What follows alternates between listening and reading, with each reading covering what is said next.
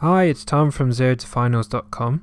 This video is going to explain how we use the short Synacthen test to diagnose primary adrenal insufficiency or Addison's disease. Primary adrenal insufficiency is where the adrenal glands themselves are damaged and not able to produce enough cortisol to adequately serve the body. Now, if we look at the HPA axis itself, the hypothalamus produces corticotrophin releasing hormone, which stimulates the anterior pituitary gland to release adrenocorticotrophic hormone, which in turn stimulates the adrenal gland to produce cortisol. Cortisol then feeds back to the hypothalamus and the anterior pituitary gland to tell them to back off releasing the stimulatory hormones because there's plenty of cortisol in the body already. So by doing this it produces negative feedback which in turn helps to settle down how much cortisol is being produced. There are two causes of a low blood cortisol. The first is primary adrenal insufficiency or Addison's disease and this refers to when the, the adrenal gland itself is inadequately producing cortisol, usually in response to some sort of damage.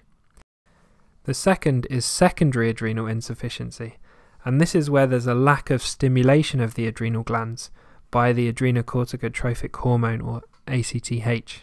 This is usually in response to damage to the pituitary gland, so it's not producing enough ACTH. To test for primary adrenal insufficiency, we use the short Synacthen test.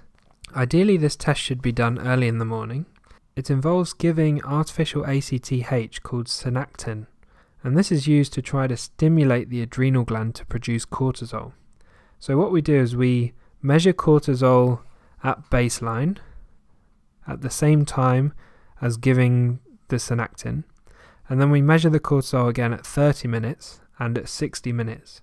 And we would expect in a healthy adrenal gland the level of cortisol will at least double in response to that Synacthen. If it doesn't double, then there's likely to be damage to the adrenal glands, which is stopping them from producing an adequate response. So we can diagnose primary adrenal insufficiency. We can also measure ACTH to investigate adrenal insufficiency, and this is how you would interpret the results. In primary adrenal insufficiency, the adrenal gland is not producing cortisol, so you end up with a low cortisol level. And because the cortisol is low, you don't get the negative feedback to the hypothalamus and anterior pituitary.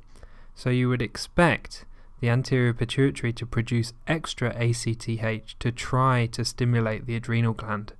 So you would find a high ACTH level.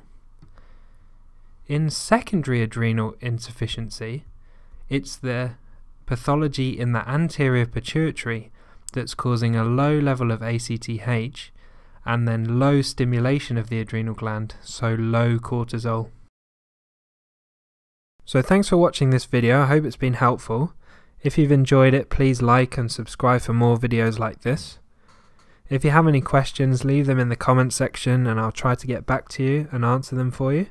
Don't forget to check out all the other resources on the Zero to Finals website where there's loads of medical notes, illustrations, videos, quizzes, and a blog. And uh, I'll see you in the next video.